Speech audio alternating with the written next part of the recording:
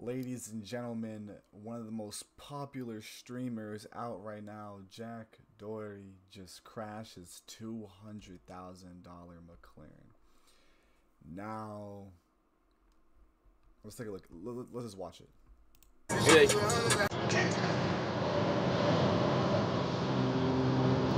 First issue, you're driving really fast when it's raining, which is making the the road slippery, and you're on your phone, so you're not paying attention. So that's oof.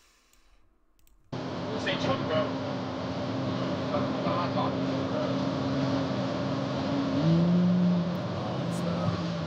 Oh! Oh! No! No! No! Oh, fuck. No, watch out, watch oh. out. Oh. Oh. Fuck, open the door, open the door, open your door. We're locked in here. Holy shit. Holy shit. Where's your phone? Oh, I just broke that shit. Me too. Help. Help. Oh shit. Oh. Help. Holy shit. Oh. Oh. Michael. Kill. Oh. I hope he's okay. He obviously has a lot of money, so he can easily buy another McLaren if he wanted to.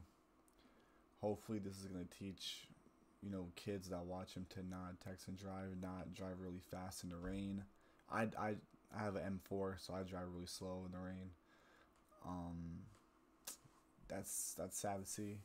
Sad, you know. I feel bad for him, but hopefully, hopefully everything's okay.